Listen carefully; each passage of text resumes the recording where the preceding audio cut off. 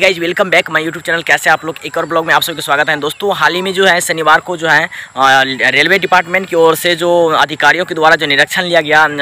Saraigarh to Lalitgram railway station तक, जिसमें जो है दो बोगी का ट्रेन आई थी और उसमें जो है, रेलवे अधिकारियों का कहना था कि ये जो निरीक्षण है इस निरीक्षण के बाद जो है सीआरएस का निरीक्षण बहुत ही जल्द होने वाली है ललितग्राम रेलवे स्टेशन तक, जिसमें उन्होंने ये भी कहा कि, अब जो है, जिसमें जो ललितग्राम रेलवे स्टेशन तक जो जो रूट है रेल लाइन का, जिसमें पहले जो था, कुछ फॉल्ट था, जिसको अभी जो है ठीक कर दिया गया है, अब जो है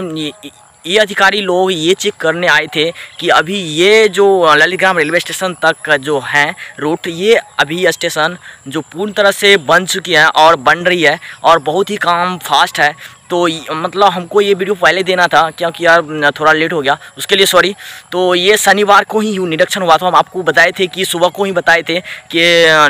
आज जो है शनिवार को जो है निरीक्षण होने वाली है। तो आप लोगों ने उस पर बहुत ज़्यादा प्यार दिया। तो तो यार आप लोग भी इस वीडियो को बहुत ज़्यादा प्यार दीजिएगा, क्योंकि हम लोग आप लोग के लिए बहुत ही ज़्यादा मतलब करेंट अपडेट लाते रहते हैं। तो जिसमें दो बोगी वाले जो ट्रेन आई थी उसमें अधिकारियों का जो जो निरीक्षण किया गया, उन्होंने ये बताया कि जो अब जो है ट्रेन का जो है